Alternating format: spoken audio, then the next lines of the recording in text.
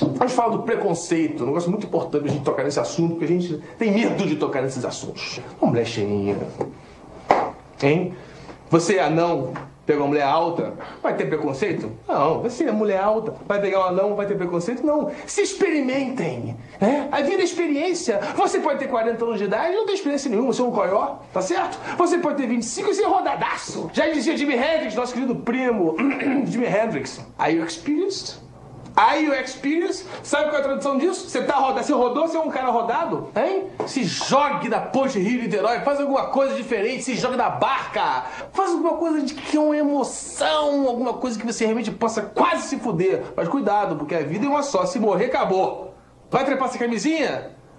Delícia, mas pode se fuder. Pode se fuder bonito. Tá certo? Ah, loucura, mas não morra. Você vai fazer isso, eu não sei, querido. Você desenvolva a sua própria técnica de loucura, mas assim, aproveite a vida, enlouqueça, enlouqueça, enlouqueça!